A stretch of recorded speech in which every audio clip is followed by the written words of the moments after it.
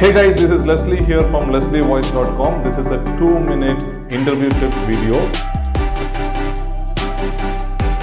In this video, I'm going to talk about I versus we. When you're going for an interview, please be conscious about using I, right? I have seen so many job seekers or so many interviewees uh, who come for an interview and they talk about we. When they say we, they're talking about their own team, right?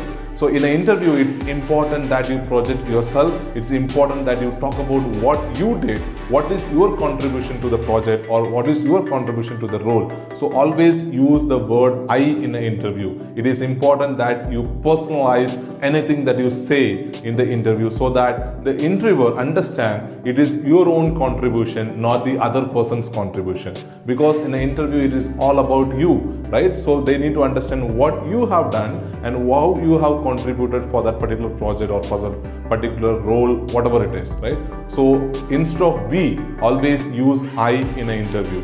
Until unless if it's a team effort or something like that, then you might use we. Otherwise, if it is your own project, if you have if you are talking about your own contribution in that project, always use I in the uh, interview.